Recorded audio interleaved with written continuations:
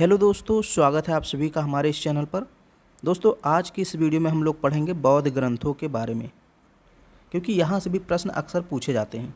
इसके पहले मैंने आपको ब्राह्मण ग्रंथों के बारे में बता दिया है, जिसमें मैंने आपको वेदों के बारे में बताया था, उपनिषद के बारे में बताया था, और जो भी ब्राह्मण ग्रंथ थे, जैसे धर्मसूत्र हो गया, वेदांग हो गए, या और जितने भी ग्रंथ होते हैं, उन सभी के बारे में मैंने आपको बता दिया था। ब्राह्मण ग्रंथ वगैरह हो गए। तो आज हम लोग बौद्ध ग्रंथ की बात करेंगे और देखेंगे इसमें कौन कौन से ग्रंथ आते हैं और उनसे हमें किस प्रकार की जानकारी प्राप्त होती है। क्योंकि यहाँ से भी अक्सर प्रश्न पूछा जाता है तो ये भी जानना ज़रूरी है। देखिए, जब बौद्ध ग्रंथों की बात करते हैं तो बौद्ध ग्रंथों में सबसे महत्वपूर्ण क्या है? त्रिपिटक। त्रिपिटक सबसे महत्वपूर्ण है। बुद्ध की मृत्यु के बाद उनकी शिक्षाओं को संकलित करके तीन भागों में बांटा गया। इन्हीं को त्रिपिटक कहते हैं। तो एग्ज़ाम में अगर आ जाता है कि बौद्ध ग्रंथों के विषय में लिखिए या बौद्ध ग्रंथों से हमें क्या क्या जानकारी मिलती है तो जैसे मैंने यहाँ पे लिखा है, ऐसे ही आपको लिखते जाना है। थोड़ा बहुत मैंने यहाँ पे शॉर्टकट में लिखा है, लेकिन आपको लिखते समय थोड़ा सा डिटेल कर देना मैं आपको बताता रहूँगा। तो सबसे महत्वपूर्ण क्या है बौद्ध ग्रंथों में? त्रिपिटक। जब महात्मा बुद्ध जी की मृत्यु हुई तो उनकी शिक्षाओं का संकलन किया गया। जो बातें उन्होंने कहीं, चाहे वे उपदेश देते हों दिए हों, उस समय चाहे कोई सिद्धांत दिया हो, चाहे उनके संघ संबंधी कोई नियम रहे हों तो उन सभी नियमों, सिद्धांतों, उपदेशों को संकलित करके तीन भागों में बांटा गया और पहले भाग को शुद्ध पिटक कहा गया। यानी जो तीन भाग बांटे गए, उसको त्रिपिटक कहा गया और पहले भाग को शुद्ध पिटक कहा गया, दूसरे भाग को विनय पिटक कहा गया और तीसरे भाग को अभिधम्य पिटक कहा गया। तो इतना आपको समझ में आ गया? त्रिपिटक कौन कौन से हैं? सुत पिटक, विनय पिटक अभिधम्य पिटक। अब हम इनको एक एक करके पढ़ेंगे। इनके, अब देखिए, त्रिपिटक के तीन भाग हो गए सुत पिटक विनय पिटक अभिधम्य पिटक अब हम बात करेंगे सुत पिटक की तो सुत पिटक के भी कई भाग हैं ऐसे। फिर विनय पिटक के कई भाग हैं अभिधम्य पिटक के कई भाग हैं तो हम एक एक कर सबको देखेंगे। सबसे पहले हम सुत पिटक की बात करते हैं, क्योंकि यहाँ आप देख लीजिए, सबसे पहले क्या है? शुद्ध पिटक तो इसको ध्यान में रखिएगा कि हम लोग पढ़ क्या रहे हैं अभी। शुद्ध पिटक, इसके टोटल पाँच भाग हैं। देखिए, इसके कितने भाग हैं शुद्ध पिटक के? पाँच भाग। कौन कौन से? दीघ निकाय, अंगुत्तर निकाय, खुद्दक निकाय, मंजिम निकाय, संयुक्त निकाय। ये आपको याद रखना है। और अगर पूछे कि शुद्ध पिटक में किस चीज़ की जानकारी मिलती है तो इसमें महात्मा बुद्ध के उपदेशों की जानकारी मिलती है, जो उन्होंने उपदेश दिए हैं। या जो उन्होंने सिद्धांत दिए हैं, जो उपदेश दिए हैं, उनकी जानकारी मिलती है हमें। किसके बाद किससे? सुत पिटक से। अब देखिए सुत पिटक के पाँच भाग हैं तो पहला है दीर्घ निकाय। इसको दीर्घ नहीं बोलते हैं। ध्यान रखना, दीर्घ मत बोलना, ये दीर्घ गलत हो जाएगा, दीर्घ है। दीर्घ निकाय में क्या है? यह बुद्ध के लंबे उपदेशों का संग्रह है। यानी इसमें जो लंबे लंबे उपदेश दिए हैं बड़े बड़े उपदेश दिए हैं, उनका संग्रह है। और इस ग्रंथ पर बुद्ध घोष ने सुमंगल वासनी एवं सामंत पासादिका नामक टीका लिखा है। तो ये प्रश्न पूछा जाता है बड़े बड़े एग्ज़ाम में कि बुद्ध घोष ने सुमंगल वासनी एवं सामंत पासादिका नामक टीका किस पे लिखा है? तो उसमें कई ऑप्शन रहेंगे। दीघ निकाय रहेगा, अंगुत्तर निकाय रहेगा, खुद्दक निकाय, मंजिम निकाय। तो आपको ये जानना है किस पे? दीघ निकाय में। और इसमें किसका उल्लेख किया गया है? बड़े उपदेशों का। तो ये दीघ निकाय हो गया। शुद्ध पिटक का पहला भाग शुद्ध पिटक का दूसरा भाग है अंगुत्तर निकाय। अब अंगुत्तर निकाय में क्या लिखा गया है? दो हज़ार से अधिक संक्षिप्त कथनों का संग्रह मतलब छोटे छोटे उपदेश हैं इसमें, और इसी में सोलह महाजनपदों का उल्लेख मिलता है। तो ये ये भी पूछा जा सकता है कि शुद्ध पिटक के किस भाग में सोलह महाजनपदों का उल्लेख मिलता है तो अंगुत्तर निकाय में। अंगुत्तर निकाय में, जो कि शुद्ध पिटक का एक भाग है, इसमें सोलह महाजनपदों का उल्लेख मिलता है। बाकी तीस, तीसरा है खुद्दक निकाय, इसके बारे में कोई विशेष आपको नहीं पढ़ना है, बस इतना याद रखना है कि खुद्दक निकाय शुद्ध पिटक का एक भाग है। मंजिम निकाय, चौथा है, ये भी शुद्ध पिटक का भाग है, और पांचवा है, संयुक्त निकाय, ये भी शुद्ध पिटक का भाग है। तो इतना आपको ध्यान में रखना है शुद्ध पिटक के ये नाम आपको याद रखने हैं। दीघ निकाय, अंगुत्तर निकाय, खुद्दक निकाय, मंजिम निकाय, संयुक्त निकाय। इतना आपको क्लियर हो गया, और इसमें किसका वर्णन मिलता है? तो महात्मा बुद्ध जी के उपदेशों का, उनके सिद्धांतों का। अब देखिए, यहाँ पे मैंने कहा दीघ निकाय, अंगुत्तर निकाय, खुद्दक निकाय। तो हम खुद्दक निकाय के भी कई पार्ट हैं, इसको देख लेते हैं। इसके भी कई पार्ट हैं, इसको भी हम लोग देख लेते हैं। अभी आप शुद्ध पिटक में ही चल रहे हैं। ध्यान में रखिएगा। खुद्दक, ये तीसरा जो शुद्ध पिटक का तीसरा भाग है, खुद्दक निकाय, इसके भी कई भाग हैं, जैसे धम्म पद सुत्तनी पद उदान विमान वत्थु पंत वत्थु थेर गाथा थेरी गाथा जातक। ये इतने भाग हैं खुद्दक निकाय के। तो ये भी आपको याद रखना है। एक एक दो दो बार पढ़िए, ध्यान में रहे, ताकि एग्ज़ाम में अगर यहाँ से प्रश्न आता है तो आप उसको लगा सकें।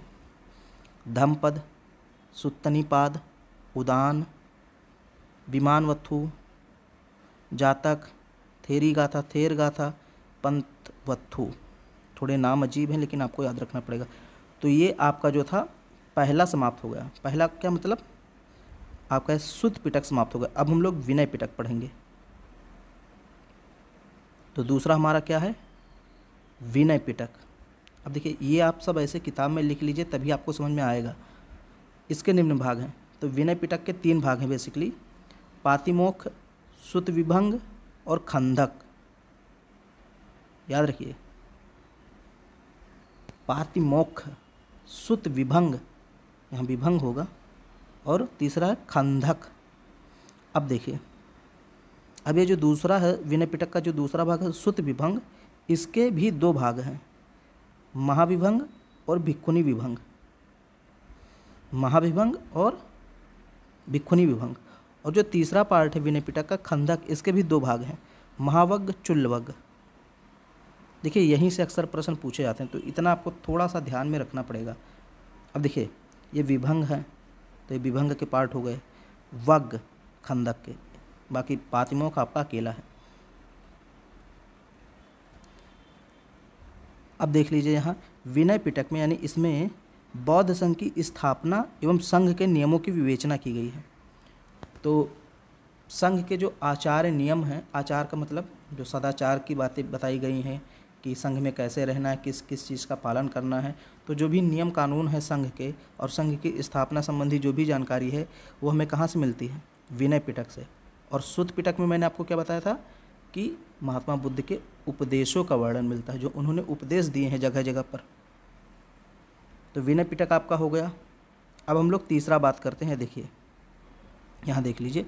शुद्ध पिटक हो गया, उपदेशों वाला, विनय पिटक नियम वाला अब अभिधम पिटक की बात करते हैं। ये देखिए, तीसरा है आपका, यहाँ तीसरा होना चाहिए। तीसरा है अभिधम पिटक, इसके निम्न भाग हैं।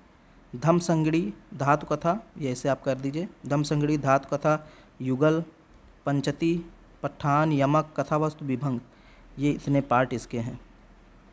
तो इसको भी आपको एक दो बार पढ़ना है। अभिधम पिटक में किसकी जानकारी मिलती है?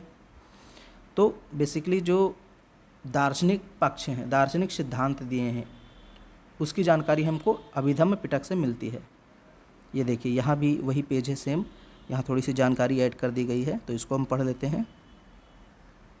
देखिए, यह पिटक प्रश्न उत्तर के रूप में है। किसके उत्तर किसके रूप में है? प्रश्न उत्तर। यानी इसमें प्रश्न उत्तर बहुत सारे दिए गए हैं। इस पिटक में बौद्ध धर्म के दार्शनिक पक्ष उद्घाटित होते हैं, दार्शनिक पक्ष। और इसके संकलनकर्ता कौन है? मोगलीपुत तिस्स अभिधम्म पिटक के संकलन करता मोगली मोगलीपुत हैं। इसमें सबसे पहले संस्कृत भाषा का प्रयोग मिलता है। तो इतनी जानकारी आपको पिटकों के बारे में जाननी चाहिए। पिटक कितने होते हैं? तीन।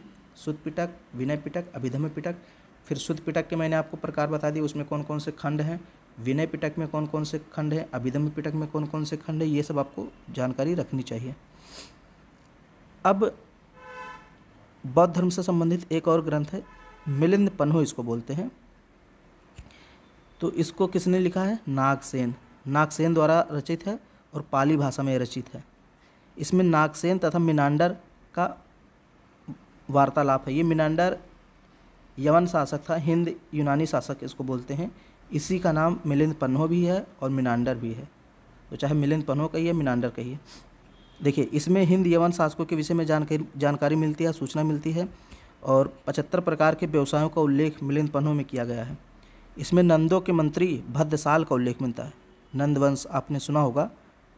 नंदवंश, जिसका अंतिम शासक कौन था? घनानंद, बहुत ही क्रूर शासक था। उसी को चंद्रगुप्त मौर्य ने हराकर मौर्य की स्थापना की थी। तो नंदों के जो, नंदवंश के यानी नंदों के जो मंत्री थे भद्रसाल उनका वर्णन कहाँ मिलता है? मिलिंद पन्हू में। और इसमें पचहत्तर प्रकार के व्यवसायों का उल्लेख मिलता है। हिंद एवं शासकों के बारे में जानकारी मिलती है। पाली भाषा में लिखा गया है नागसेन के द्वारा। इतना आपको याद रखना है। फिर एक और बौद्ध ग्रंथ है विषाधि मग्ग इसको बोलते हैं विषाधि मग्ग इसकी रचना बुद्ध घोष द्वारा की गई है। और बुद्ध घोष कौन थे? बौद्ध ग्रंथों के महान टीकाकार थे। इन्होंने बुद्ध की जीवनी निदान गाथा पर भाष्य लिखा है। तो बुद्ध की जीवनी का क्या नाम है? निदान गाथा। और इस पर भाष्य किसने लिखा है? बुद्ध घोष ने। अब यहाँ कुछ और रचनाओं के बारे में देखते हैं। वसुमित्र द्वारा लिखित विभाषा शास्त्र बौद्ध धर्म का विश्वकोश है। तो ये भी याद रखिए, विभाषा शास्त्र जो है वो बौद्ध धर्म का क्या है? विश्वकोश है। किसने लिखा है? वसुमित्र ने। और इसे बौद्ध धर्म की बाइबिल भी कहा जाता है। तो बौद्ध धर्म की बाइबिल किसको कहते हैं? विभाषा शास्त्र को, बौद्ध धर्म का विश्वकोश किसे कहते हैं? विभाषा शास्त्र को। किसने लिखा है इसको? वसुमित्र ने। ललित विस्तर की रचना किसने की? हरिभद्र। हरिभद्र ने किसकी रचना की है? ललित विस्तर की। यह भी एक बौद्ध ग्रंथ है।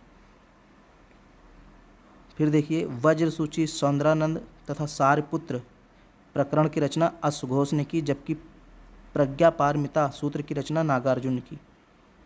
ये सब बड़े बड़े एग्ज़ाम में पूछे जाते हैं।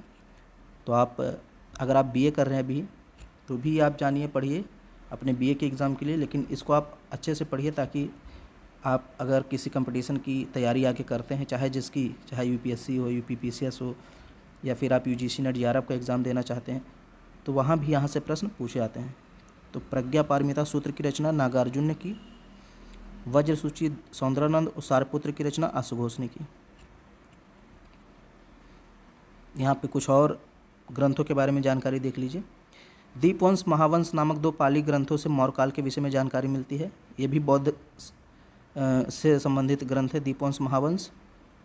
बौद्ध धर्म के हीनयान संप्रदाय का प्रमुख ग्रंथ कथा वस्तु है।